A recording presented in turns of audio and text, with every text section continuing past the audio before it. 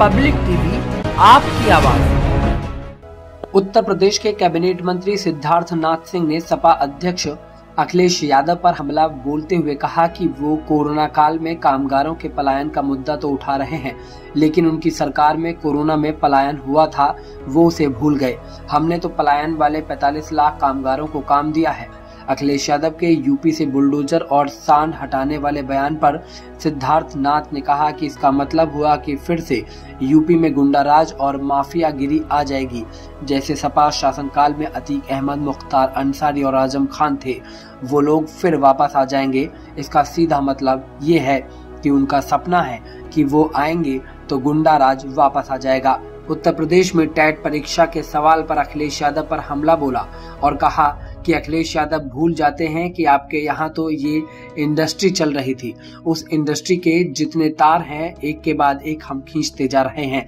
और आपकी क्या नीति होती थी, दोषी को पकड़ा नहीं जाता था। उसको पकड़ने का काम नहीं करते थे, बल्कि षड्यंत्र करके पेपर को लीक करने का काम करते थे, जिससे कि मुनाफा भी हो और आपके लोग भी एडजस्ट हो जाएँ, जो लोक सेवा आयोग के माध्यम से या दूसरे माध्यम से वहाँ पर एग्ज़ाम होता है। लेकिन इसमें हमारी नीति बिल्कुल अलग है।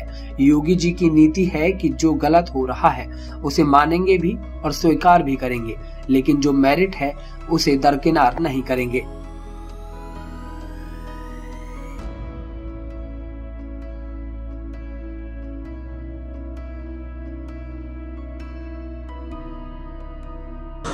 आज उसके माध्यम से कितना रोज़गार पर उत्पन्न हो रहा है?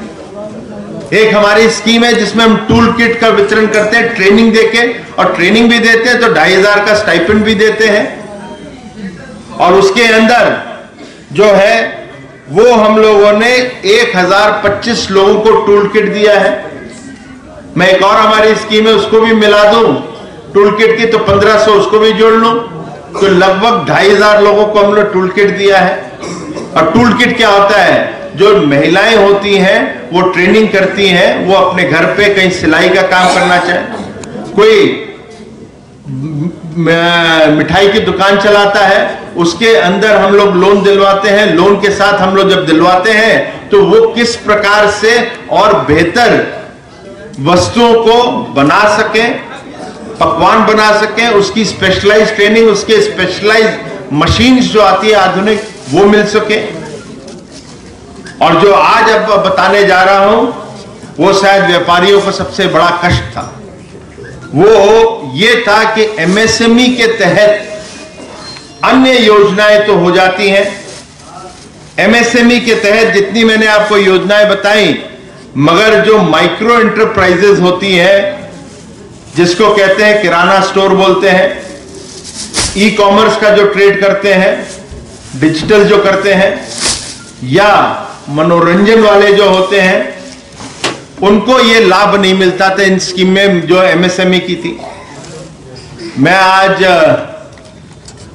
गर्व के साथ कहता हूँ कि मैंने कल एक फ़ाइल साइन करी है, जिसके अंदर जो किराना स्टोर है, जो ई कॉमर्स वाले हैं, और जो मनोरंजन में का बिज़नेस करते हैं, वो भी अब एमएसएमई में आएँगे, और जो हमारी जो मुख्यमंत्री स्वरोजगार योजना है, उसका भरपूर वो लाभ उठाएँगे।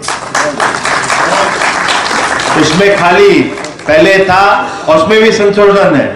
पहले हम 25 लाख रुपए तक की लोन वितरण करते थे, उसको जो कल फ़ाइल साइन करी, उसको 25 लाख से अब एक करोड़ तक की कर दिया है, जो आप छोटे किराना स्टोर वाले हैं, आप मुख्यमंत्री स्वरोजगार योजना के तहत अप्लाई करेंगे तो आपको ये लोन मिलेगा सब्सिडाइज मिलेगा, और उसके अंदर कुछ स्कीम्स है, इसका फ़ायदा मिलेगा सब्सिडी मिलेगी, वो आप ले सकते हैं, और बैंकों के माध्यम से, क्योंकि आपको सबसे बड़ी दिक्कत होती थी, कहाँ से हम पैसा लें, क्योंकि आपके जो खाते होते थे, वो खाते में दिक्कतें आती थी। पब्लिक टीवी आपकी आवाज़।